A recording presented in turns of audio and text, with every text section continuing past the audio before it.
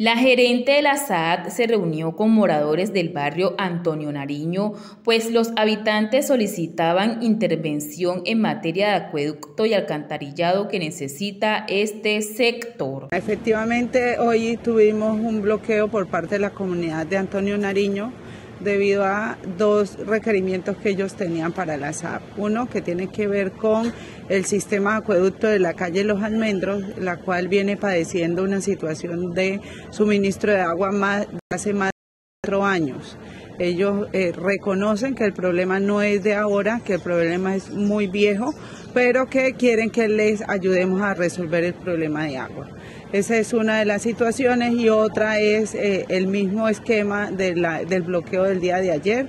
Eh, una obra de pavimento que están gestionando con la alcaldesa menor y eh, para la cual requieren una reposición de alcantarillado. Por su parte, invitó a la ciudadanía en general, específicamente a los líderes comunales, a acercarse a la empresa para tener una comunicación personal con la gerente con el fin de encontrar soluciones que beneficien a toda la comunidad antes de tomar la decisión de cerrar las instalaciones. Efectivamente, hacemos un llamado a todos los líderes eh, de las comunidades, de los barrios, que por favor se acerquen, que hagamos la interacción personal eh, primero antes de eh, gestionar con la comunidad un bloqueo como lo que ha pasado estos días, que no tenían razón de ser dado que las obras que están gestionando son obras de pavimento, no son obras de alcantarillado. Entonces, primero acercarse a las instalaciones de la SAC, coordinar con la SAC cuáles son sus necesidades y poder así ayudarles a solucionar el problema